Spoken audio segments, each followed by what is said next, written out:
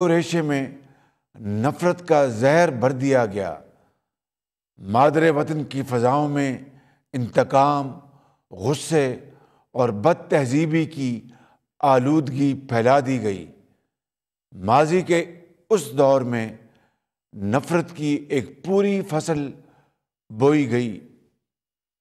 मेरे अज़ीज़ अहल वतन, अपने मजमूम सियासी मकासद के लिए सफारती ख़त की नाम नहाद साजिश तक घड़ी गई। एक ख़तरनाक झूठ बोला गया।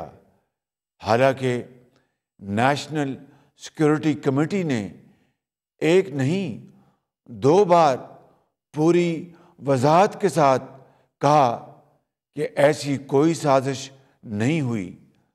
अमेरिका में हमारे सफ़ीर ने भी साजिश की कहानी को यकसर मुस्तरद कर दिया।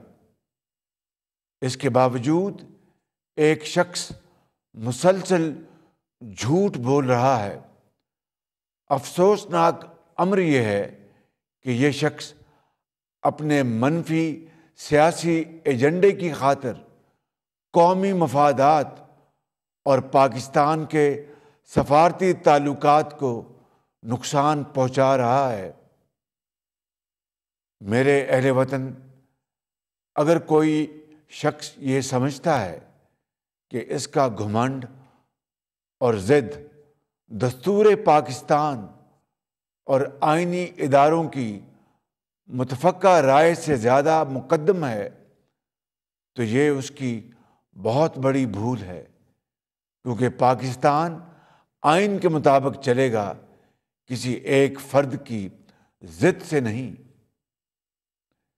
मेरे बहनों और भाइयों, आपको याद होगा, जब वज़ी अजम मोहम्मद नवाज़ शरीफ के दौर में पाकिस्तान तान नुमाया तरक्की कर रहा था, इस एक शख्स ने धोंस, धमकी और धरने का ड्रामा रचाया था।